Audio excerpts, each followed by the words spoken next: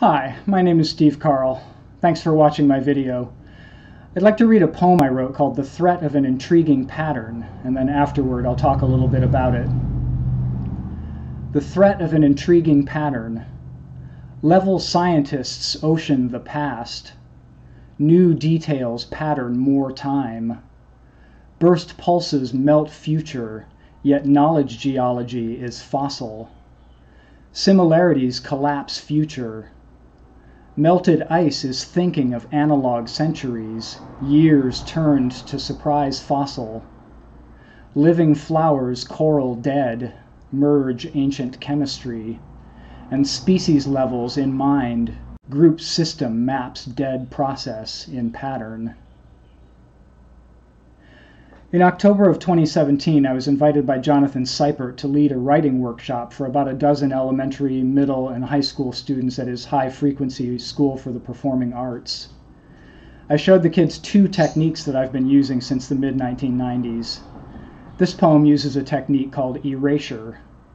In erasure, you begin with a text and you block out or erase part of it, and what's left when you're done is the poem.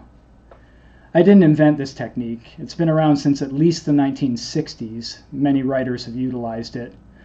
I first came across it thanks to a 1986 review in the San Francisco Chronicle of A Humument by British artist Tom Phillips, where he takes a Victorian novel titled A Human Document and collages, draws, and paints over each page to obscure much of the text, but he leaves some of the text there to narrate a different story than the novel has in it.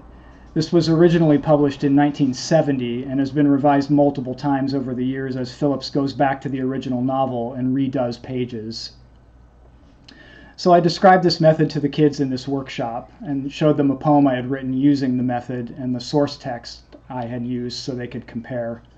And then I handed out copies of a page I had printed off the internet. I think it was discussing some geological research by the government in the Arctic or something and then we all took 10 or 15 minutes and erased our government research pages and turned them into poems. So since there's a visual component to these, I'll show you how mine wound up looking.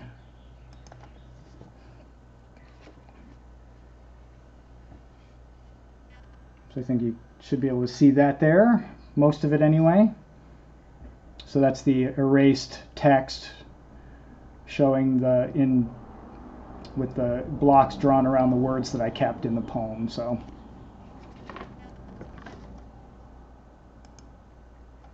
So that's the thread of an intriguing pattern. Thanks for watching, and I hope you'll check back. I intend to post more of these readings. Thanks.